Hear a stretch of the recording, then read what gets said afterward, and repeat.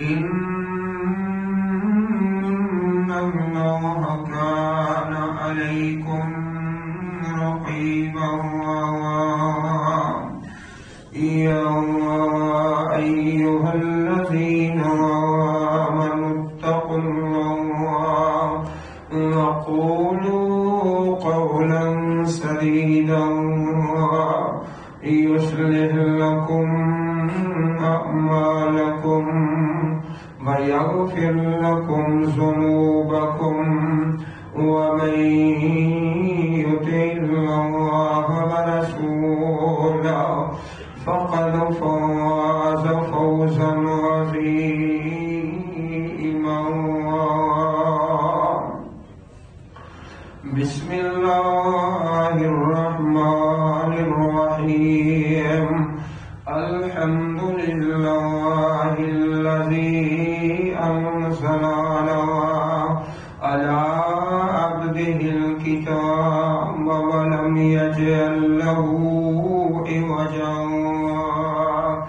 قيما لينذر بأسا شديدا من لدنه ويبشر المؤمنين الذين يعملون الصالحات أن لهم أجرا حسنا ماكثين فيه أبدا وينذر الذين قالوا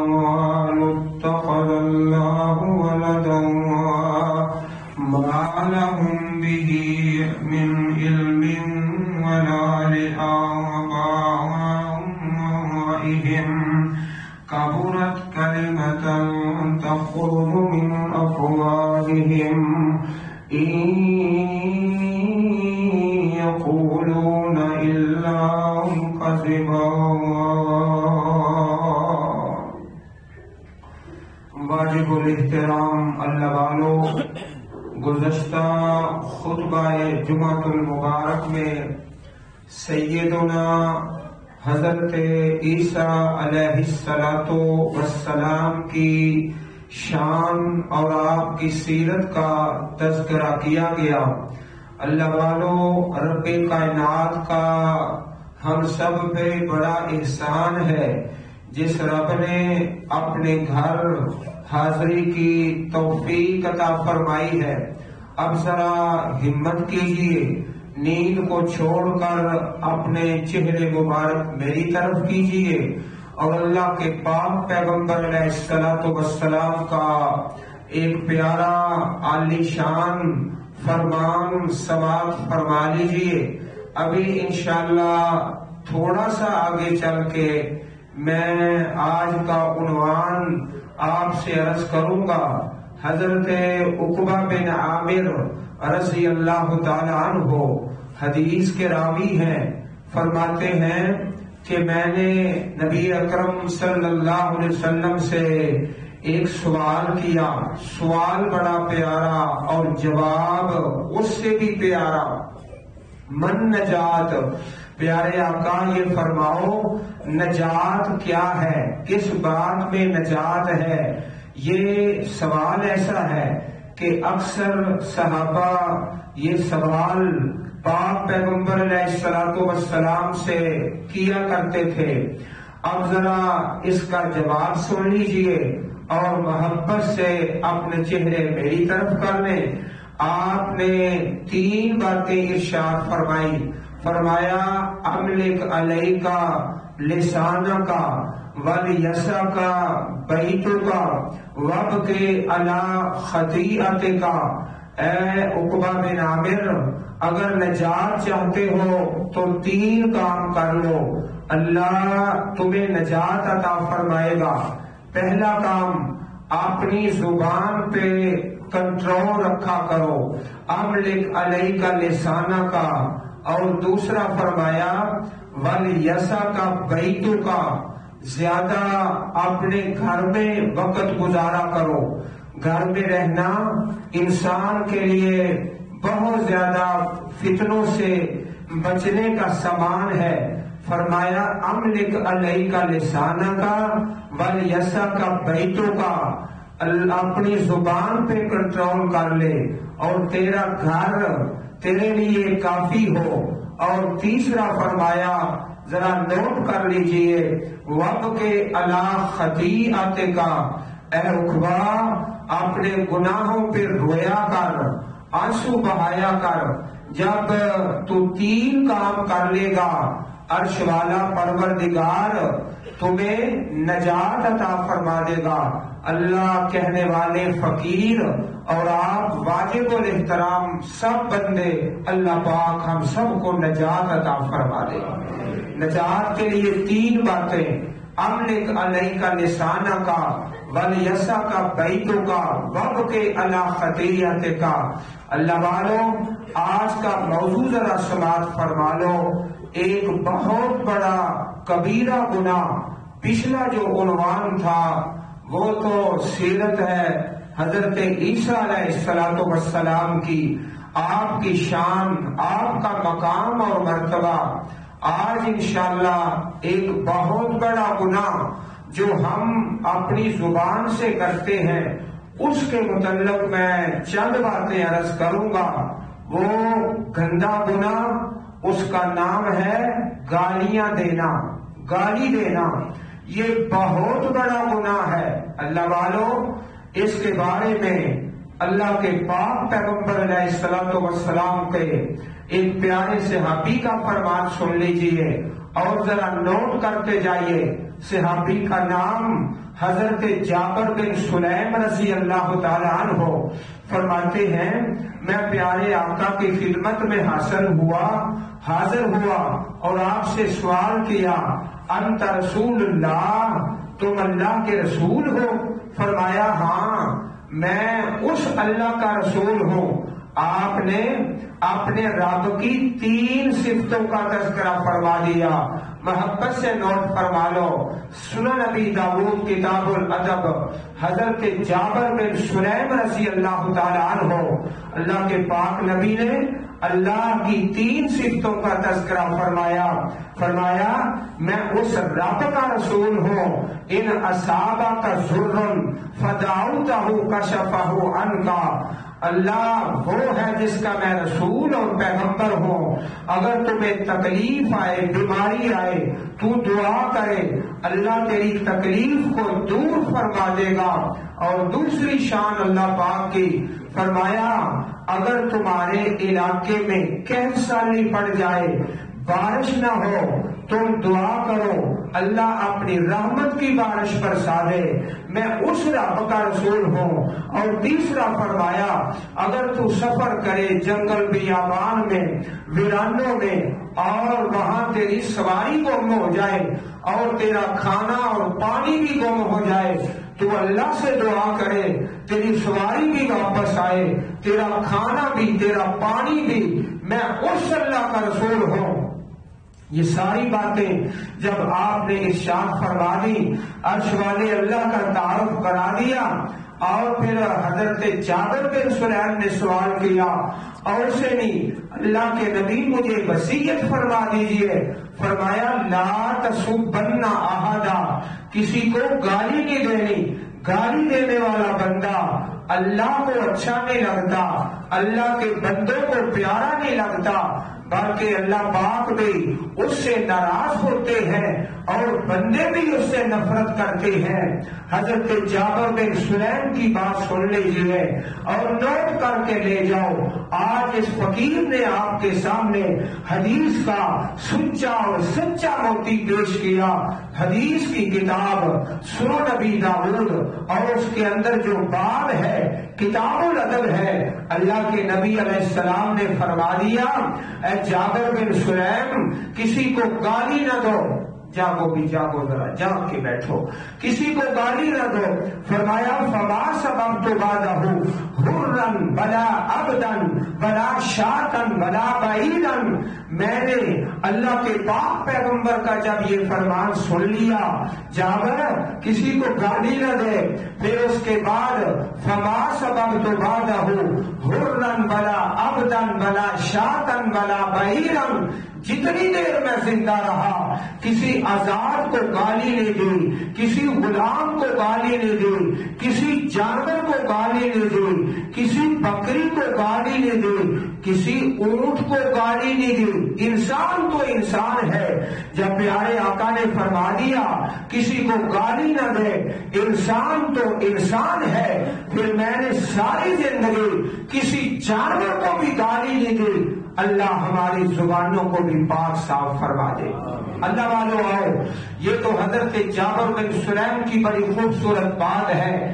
کچھ ایسے اللہ کے بندے ہیں جو نہ انسانوں کو، نہ جانوروں کو گالیاں دیتے ہیں اور کچھ ایسے بے نصیب ہیں، ذرا ان کا بھی تذکرہ سن لو جو انسانوں کو گالیاں دیتے ہیں۔ اور انسان تو انسان اپنے رب کو گالیاں دیتے ہیں۔ تو استغفر اللہ وہ بے نصیب کون ہے جو اللہ کو گالیاں دیتا ہے؟ ذرا اس کا بیان بھی سن لیے میں حدیث کا سچا اور سچا موتی آپ کے سامنے تلاوت کرتا ہوں۔ اللہ فرماتے ہیں، وہ بڑا بے نصیب ہے جو رب العالمین کو گالیاں دیتا ہے۔ کزبانی ابن و آدما و شتمنی ابن و آدما اللہ فرماتے ہیں، کچھ ایسے انسان ہیں جو مجھے گالیاں دیتے ہیں اور کچھ ایسے انسان ہیں جو مجھے چٹلاتے ہیں تقزیم کرتے ہیں۔ اما تقزیب ہوگی یا یا؟ فرمایا اللہ پاک نے، وہ انسان جو میری تقزیم کرتا ہے، وہ کون ہے جو کہتا ہے، لن او کما بدا۔ جس طرح میں نے پیدا کیا، اس طرح دوبارہ زندہ کر کے اپنے سامنے کھڑا کروں گا۔ اور جو بندہ یہ کہتا ہے ایک جب میٹھا اگلا کیسے میٹھا مرنے کے بعد میں دوبارہ اپنے رب کے سامنے کھڑا نہیں ہوں گا۔ وہ تو اللہ کی تقزیم کرتا ہے، رب کی تقزیم کرتا ہے اور وہ بے نصیب ہے جو اپنے اللہ کو گالیاں دیتا ہے۔ وہ کون ہے جو کہتا ہے، سنو بھائیو، ذرا محبت سے نوٹ کرو، ایک وہ خوش نصیب ہے، نہ انسان کو گالی دیتا ہے، نہ آزاد کو، نہ غلام کو، نہ بکری کو، نہ اونٹ کو اور دوسرا وہ بے نصیب ہے جو اپنے رب کو گالیاں دیتا ہے۔ وہ کون ہے؟ ذرا اس کا نام تو سن لو۔ فرمایا، جب انسان کہتا ہے اتخذ اللہ بلدا اللہ نے اولاد پکڑی ہے، رب کی اولاد بھی ہے، کوئی رب کا بیٹا ہے، کوئی اللہ کا حصہ ہے، کوئی اللہ کا جز ہے، یہ بے نصیب ہے جو اپنے رب کو گالیاں دیتا ہے۔ اور گالی دینا کتنا بڑا گناہ ہے۔ اللہ کے پاک پیغمبر علیہ السلام وسلام اس سے منع فرماتے اور آپ نے اس بے نصیب کا نام سن لیا ہے، جو اپنے رب کو گالیاں دیتا ہے، جو کہتا ہے، اتخذ اللہ ولدا، عزیر اللہ کے بیٹے ہیں، جناب مسیح اللہ کے بیٹے ہیں، جو رب کے اولاد قرار دیتا ہے، اپنے رب کو گالیاں دیتا ہے۔ گالیاں دیتا ہے۔ اللہ اکبر پیارے آقا کی ایک اور حدیث سن لیجیے لئی اللہ سب سے زیادہ تکلیف پہ صبر کرنے والا اللہ رب العالمین ہے۔ انسان بھی صبر کرتا ہے اور بزرگ بھی صبر کرتا ہے، لیکن سب سے زیادہ صبر کرنے والا اللہ کا الحاکمین ہے، جو اپنے رب کو گالیاں دیتے ہیں، کہتے ہیں اتخذ اللہ ولدا. اللہ نے اولاد پکڑی ہے. اللہ پاک ان کو معاف بھی کرتا ہے. یو آفی ہم جب تک زندگی ہے، رزق بھی دیتا ہے، اسے مہلت دیتا ہے، شاید یہ توبہ کر لے، بعد آ جائے. اللہ والوں کسی کو گالی نہیں دینی. نہ انسان کو، نہ حیوان کو، نہ جانور کو، نہ اونٹ کو، نہ بکری کو. اور کوئی ایسا بے نصیب بھی ہے جو عرش والے رب کو گالیاں دیتا ہے، جو کہتا ہے، اتخذ اللہ ولدا الحمد للہ انزل على عبده الكتاب ولم يجعل له عوجا ہر جمعہ میں زیادہ سے زیادہ اللہ کے پاک پیغمبر پہ درود پاک پڑھا جائے اور مسواک کی جائے اور دعا کی جائے اور سورت القاف کی تلاوت کی جائے۔ سورت القاف پندرہویں پارے سے شروع ہوتی ہے۔ ہر جمعے اس کی تلاوت کرنا سنت ہے، حدیث ہے، اجر ہے، ثواب ہے۔ وَيُنزِلَ الَّذِينَ قَالُوا اتَّخَذَ اللَّهُ وَلَدًا۔ اللہ کے نبی تشریف لائے۔ سبحان اللہ آپ کی شان اور عظمت کے کیا کہنے۔ آپ ان لوگوں کو ڈرانے آئے۔ وَيُنزِلَ الَّذِينَ قَالُوا اتَّخَذَ اللَّهُ وَلَدًا۔ آپ ڈراتے ہیں ان لوگوں کو، جنہوں نے کہا کہ اللہ نے اولاد پکڑی ہے. مالہم بہی علم ولا جو کہتا ہے عزیر اللہ کا بیٹا مسیح اللہ کا بیٹا، نہ اس کے پاس علم ہے، نہ اس کے باپ کو علم ہے، نہ اس کے دادا کو علم ہے. میں کتنا بڑا ظلم کر رہا ہوں، گناہ کر میں انسان تو کیا میں عرش والے رب کو گالیاں دے رہا ہوں؟ اللہ کے نبی ڈرانے آئے، اللہ کے باپ پیغمبر علیہ السلام والسلام کے پاس سوال کیا گیا اور شب لنا ربا کا اللہ کے نبی علیہ السلام والسلام اپنے رب کا نصب نامہ بیان کیجیے۔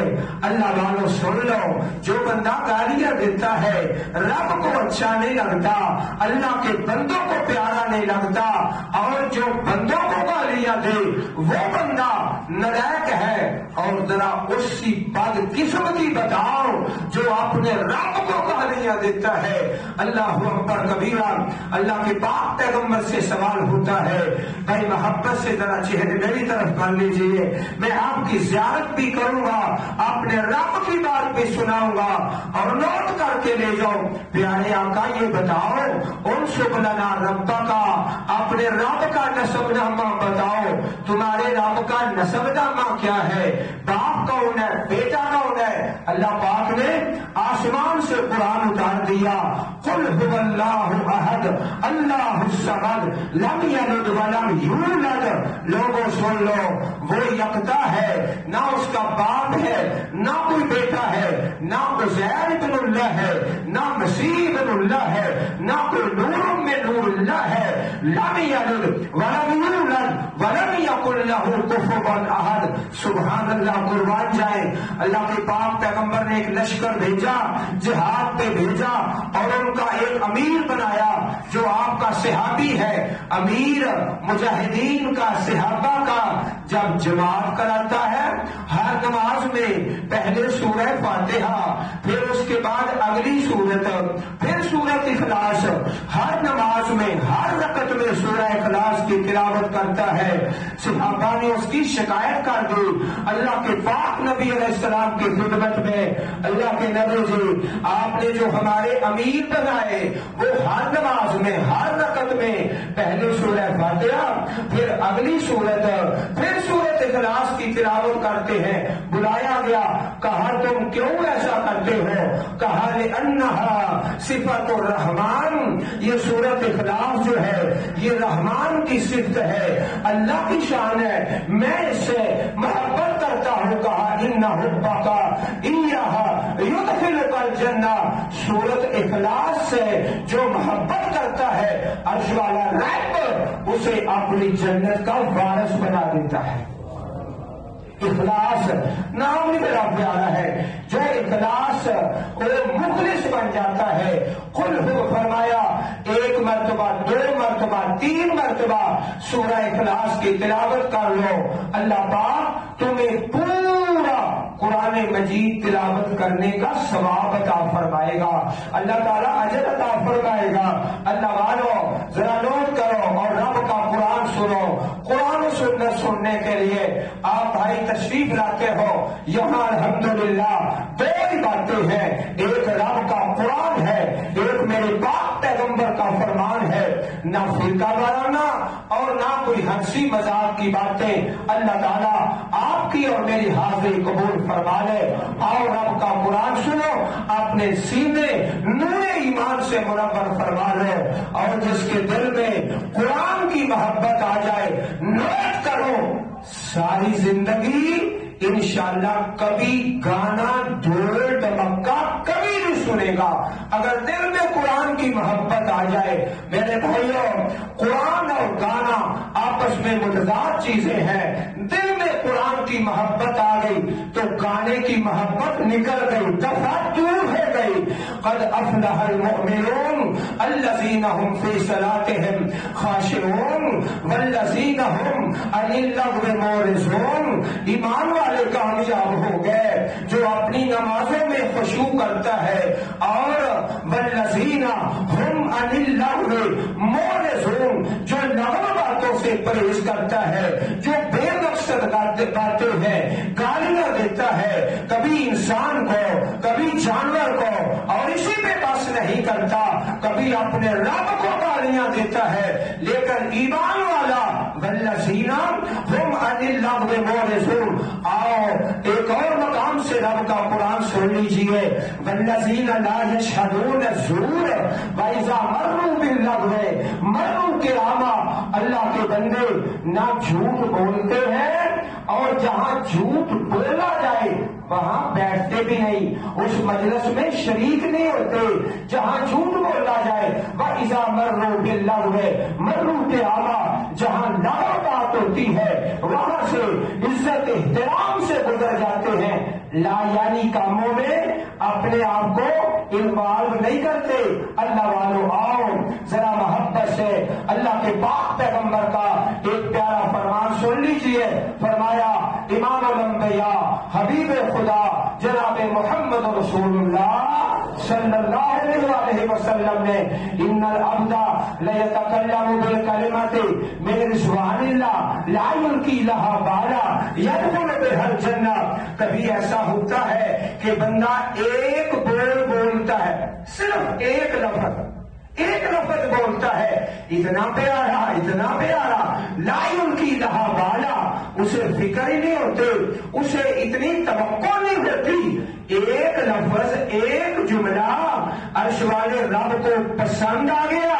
اللہ نے اس ایک لفظ کے بدلے اس اپنے بندے کو اپنی جنت کا بارش بنا دیا اور کبھی اس کے بارش ہوتا ہے، ان البدا لیتا کلمو بالکلمت من صحت اللہ. کبھی ایسا ہوتا ہے، ایک بندہ اپنے رب کے ناراضگی والا لفظ بول، ایک لفظ، گندا لفظ بولتا ہے۔ لائن کی لہا پالا اسے کوئی اتنے پرواہ نہیں ہوتی اللہ اکبر یہ بھی بہار فی ناری جہنما ایک لفظ بولتا ہے، ایک جملہ صرف ایک بات اتنی گندی اتنی گندی بات ہوتی ہے کہ اللہ پاک اس ایک لفظ کے سرے میں اس کو جہنم کا ایندھن بنا دیتا ہے۔ اللہ والوں، پہلے سوچو، پھر بولو، پہلے توڑو، پھر بولو۔ یہ ٹاٹر کرنا اللہ پاک کو پسند نہیں ہے۔ فرمایا، میں نے بات کہاں سے شروع کی تھی؟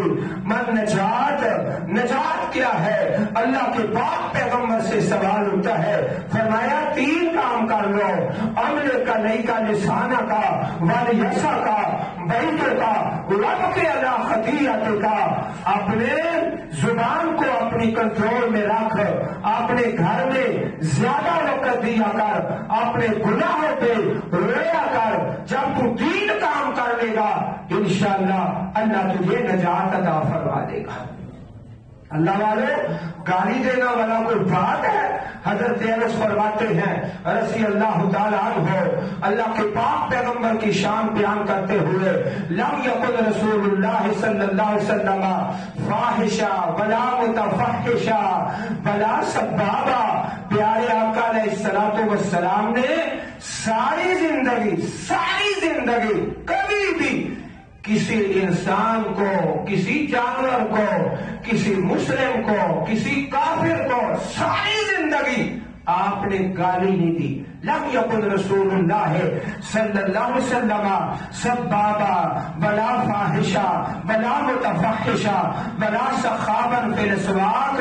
اللہ والوں یہ زمین کتنی بڑی ہے، آسمان کتنا بڑا ہے۔ جو اللہ کے بندے دوسرے ملکوں میں جاتے ہیں، وہ جانتے ہیں، اللہ کی زمین کتنی وسیع ہے۔ اللہ فرماتے ہیں، متاع دنیا قلیل، دنیا کا سارے کا سارا سامان، یہ قلیل ہے قلیل ہے۔ قلیل ہے۔ اور میں قربان جاؤں جب میرے آقا محمد کریم علیہ السلام والسلام کے اخلاق کا ذکر آیا، فرمایا گا ان کا لا خلق عظیم آسمانوں کا اور زمینوں کا سارا مال جمع کر لو۔ متا دنیا قلیل، یہ قلیل ہے۔ وہ ان کا لا خلق عظیم یہ سارے کا سارا قریب ہے اور آپ کے جو اخلاق ہیں وہ بڑے عظیم ہیں۔ سبحان اللہ۔ وہاں قلیل کہا، جہاں دنیا اور آسمان کے مال کا ذکر ہے اور جہاں پہ آپ کے اخلاق کا ذکر ہے، وہاں فرمایا، عظیم، بہت بڑا ہے۔ اللہ تعالیٰ ہمیں آپ کے نقش قدم پہ چلنے کی توفیق عطا فرمائے۔ اللہ والوں سورت اخلاص سے محبت کیا کریں۔ صبح تین مرتبہ، ہر نماز کے بعد ایک ایک مرتبہ، اور شام کو سونے سے پہلے پھر تین تین مرتبہ سورت اخلاص ہے، سورت الفلق ہے، سورت الناس ہے۔ کل اللہ احد، اللہ الصمد، لم یلد ولم یولد، اللہ اللہ لا الہ الا هو الحی القیوم۔ اللہ تعالی حی القیوم ہے، وحدہ لا شریک ہے، اس کا کوئی شریک نہیں۔ الحمدللہ اللذی لم یتخذ ولدا۔ یہ سورہ بن اسرائیل ہے، پندرواں پارہ ہے، آخری آیت کریمہ ہے۔ عرش والا رب فرماتا ہے، سب تعریفیں اس اللہ کے لیے۔ جس نے اولاد کو نہیں پکڑی، ولم یق اللہ شریک فی الملک، ولم یق اللہ ولی من الذل۔ اللہ پاک کا شریک کوئی نہیں، اللہ تعالیٰ کمزور کوئی نہیں، وہ ساری طاقتوں کا اور سارے خزانوں کا مالک ہے۔ اللہ والوں، کسی کو گالی نہیں دینی نہ انسان کو۔ فرمایا سباب المسلم فسوق و قتال ہو، کفر جو مسلمان کو گالی دیتا ہے، وہ فاسق ہو جاتا ہے، جو مسلمان سے لڑتا ہے، وہ کفر میں چلا جاتا ہے۔ مسلمان سے لڑنا ناجائز ہے۔ مسلمان کو گالی دینا ناجائز ہے۔ کسی کافر کو گالی نہیں دینی۔ کسی جانور کو، بھینس کو، گائے کو، اونٹ کو، بکری کو گالی نہیں دینی گالی دینے والا بندہ نہ اللہ کو اچھا لگتا ہے، نہ رب کے بندوں کو۔ اور کچھ ایسے بے نصیب ہیں جنہوں نے اپنے رب کو گالیاں دی ہیں۔ اتخذ اللہ والدہ اللہ پاک ان کو ہدایت عطا فرمائے، توفیق عطا فرمائے، سمجھ عطا فرمائے کہ ہم کتنا بڑا ظلم کر رہے ہیں کہ عرش والے رب کو گالیاں دے رہے ہیں۔ اللہ تعالی ہمیں معاف فرمائے۔ اللہم انکا عفو تحب العفو فاعف عنا. اللہم اغفر لنا وللمؤمنین والمؤمنات والمسلمین والمسلمات الاحیاء منهم والاموات آمین سبحان ربک رب العزت اما یصفون وسلام علی المرسلین والحمد للہ رب العالمین